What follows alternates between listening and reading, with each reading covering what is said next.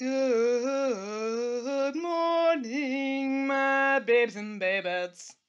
I need to pick a key, but I'm your resident active advocate, and I'm actually here today to talk to you about a very good book called Gathering Blue. And yes, it is actually a coincidence that I am wearing blue. Um, so okay, yesterday I think I forgot to provide the spoiler warning for for um shit, what's it called? Cracking India by Bapsi Sidhwa. So, spoiler warning for Cracking India by Bapsi Sidhwa, but also spoiler warning for Gathering Blue. Now, for those of you who have not read this book, it is the direct sequel to The Giver, also by Lois Lowry. These are both by Lois Lowry, duh. And this book does not concern the character you are introduced to in The Giver. It concerns a girl from another village. Her name is Kira. And this, I do believe, is the only post apocalyptic that I will be talking about. But basically, what happens in this book is that in Kira's culture, people are basically reverted to the hunter gatherer state. They all live in cottages and things like that. They don't live in cave in caves but they have ostensibly reverted to the hunter gatherer way. And the society is incredibly patriarchal, incredibly pyramidal, you know, and there are people at the top of the pyramid, the people, the men who can hunt, and the men who can think, and the men who can read. And there are people at the bottom of the pyramid. Kira is one of those. She is a girl who had been born with a clubbed foot and she is unable to use that leg very effectively. She can more or less drag it on the ground, but it's only her one leg that is what they would call sound, and she uses a cane to walk as well. Her father is killed on a hunt, and he had been a very influential person in their village, but she lives with her mother. And what happens with Kira is that her skill as an artist is found out by the ruling body of their society, which consists entirely of men and entirely or almost entirely of hunters or at least of former hunters because a lot of them may be too old at this point for hunting. So what happens with the council is that when Kira's mother dies, they are made aware of her skill as a weaver. Um, what uh, what she does as an artist is that she she weaves these beautiful patterns out of out of colored thread, and most of the clothing worn by the people in the village um, is like gray or white. It doesn't have any color to it.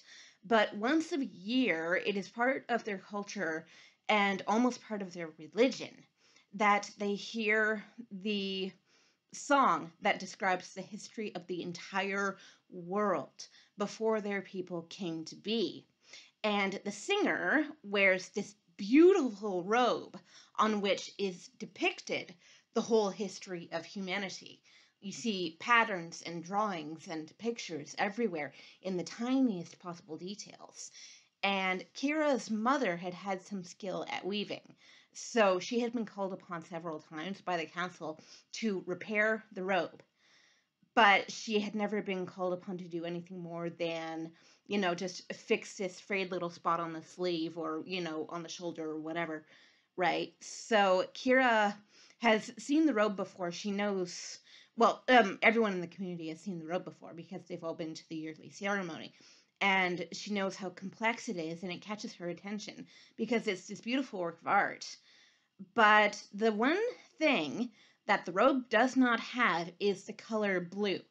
And in this book, blue largely symbolizes good because, you know, Kira talks about the blue that is held in the dome of the sky and how unattainable these things are, and how blue is something to which you can aspire as an artist because in their community they don't have any blue.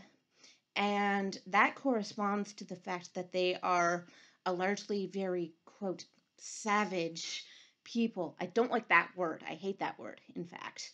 Um, I don't believe in savage versus civilized, but they're very cruel to one another. And when Kira's mother dies, there is the threat, the palpable threat, that she will be exiled from the community because even at birth, most of the time, people with disabilities are in this culture thrown into the field of the dead. So even if they're still alive as an infant, if they have a disability that would, quote, slow them down as an adult, then they are thrown into the field and left to die. That had been a threat that had faced Kira at her birth, but her father had been a man of power. He died before Kira was born, and her mother advocated for her. Look at her eyes. Look at her hands. She has these beautiful, bright eyes and these beautiful, well formed hands. You know, she is a person. Even as an infant, her mother said that she is a person of value. When Kira grows up into an artist, that is the only skill that saves her because the community requires her skill.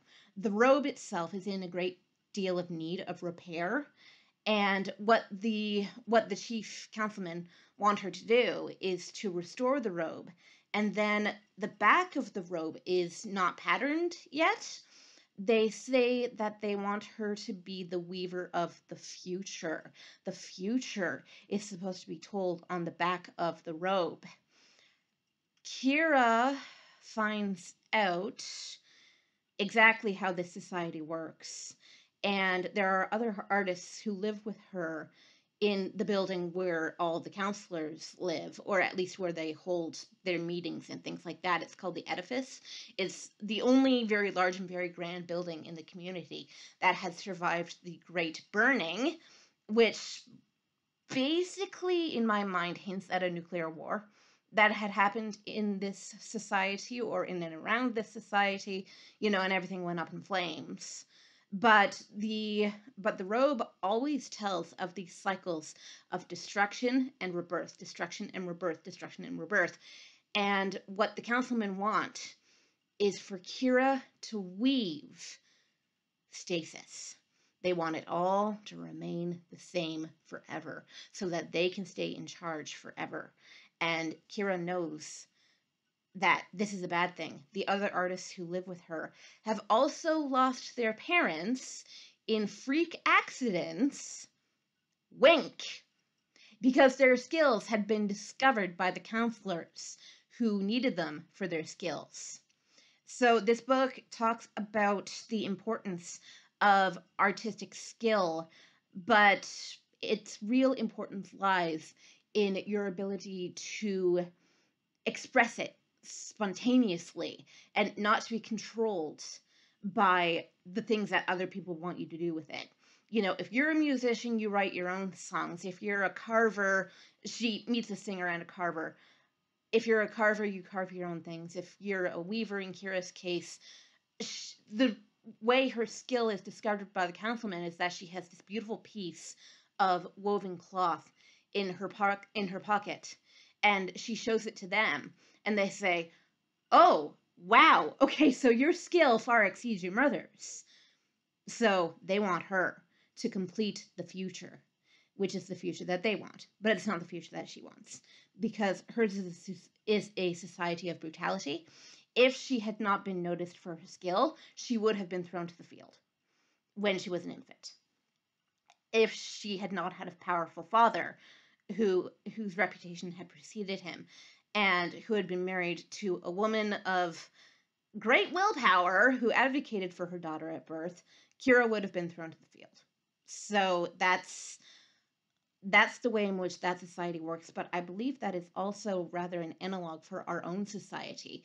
There's this whole narrative of the quote, sorry, super crip, which says that unless you have a specialized skill, you have to work even harder as a person with a disability to be even considered normal quotation marks just to break even but if you are a child prodigy i'm talking stevie wonder i'm talking stephen hawking You know, if you are a prodigy in your field, then society has use for you, not otherwise. That is the narrative that I want to undo. And I think that that was the narrative that Lois Lowry looked at and said, no, no, no, no, no. That isn't going to work. So that's my coverage and analysis of Gathering Blue, which is a wonderful, wonderful book. And if you haven't read it, read The Giver first, but then read Gathering Blue, because the four books in this series build upon one another, but you don't see until the very last book how they all join up together. So read all four. There's The Giver, Gathering Blue, Messenger, and Son, S O N, not S U N. And all four of them are excellent, but Gathering Blue is the one with the greatest disability narrative in it, which is why I picked this one because it's a very good book, as I say. And it has a lot to say in the way of social commentary, which I also like. All right, so I will see y'all tomorrow to talk about our next book, and I can't remember what the next book is on the list, but I have a list, so that'd be great. And I will see y'all tomorrow. Have a lovely day. Bye.